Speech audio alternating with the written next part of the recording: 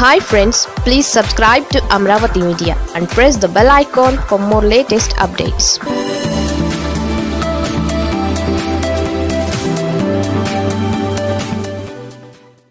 Krishna ZP పీఠం ఎవరికి?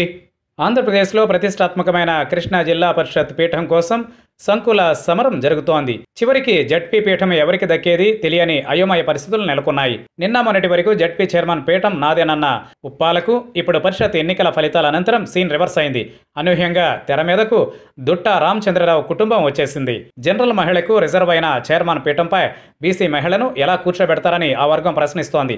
కాపు మహిళను ఆ సీటులో కూర్చోబెట్టేందుకు ఆ వర్గం నేతలు పావులు కదుపుతున్నారు. ఆగమేఘాల మీద సీఎం జగన్ను ఉప్పాల కుటుంబం కలిసింది. అయితే జడ్ పీఠం నీదేనని సీఎం జగన్ నుండి హామీ మాత్రం దక్కలేదు. చూద్దాంలే అన్న మాటతో గందరగోళంలో పడ్డారు ఉప్పాల కుటుంబ సభ్యులు. ఈ రాజకీయ పరిణామాలతో నిన్న మొన్నటి వరకు కృష్ణా జిల్లా పరిషత్ చైర్మన్ పీఠం నాదేనన్న ఉప్పాల కుటుంబం ఒక్కసారిగా నిర్ఘాంతపోయింది. చైర్మన్ పీఠం కోసం మరో కుటుంబం తెర మీదకు రావడంతో వారు హతాశులయ్యారు.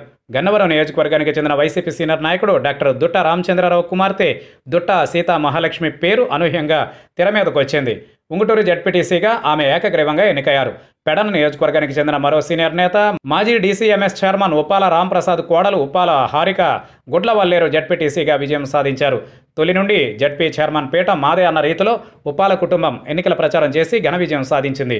అధిష్టానం కూడా ఉపాల కుటుంబానికే అన్నట్లు పరోక్షంగా చెప్పుకొచ్చింది.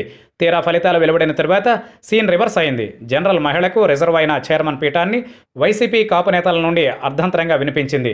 ఇక కాపు సామాజిక వర్గానికి చెందిన దుట్ట రామచంద్రరావు కుమార్తె సీత మహాలక్ష్మికి చైర్మన్ పదవిని కట్టబెట్టాలని పావులు కదిపారు ఈ విషయం తెలుసుకున్న ఉప్పాల రాంప్రసాద్ తన కోడలు హారికను తీసుకుని ఉన్నపళంగా సీఎం జగన్ను కలిశారు. అయితే సీఎం జగన్ నుండి ఉప్పాల కుటుంబానికి స్పష్టమైన హామీ లభించలేదు.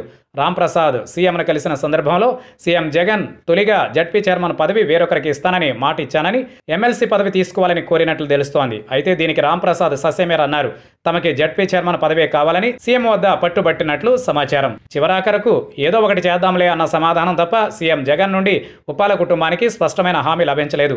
దీంతో ఉప్పాల కుటుంబం గందరగోళంలో పడింది.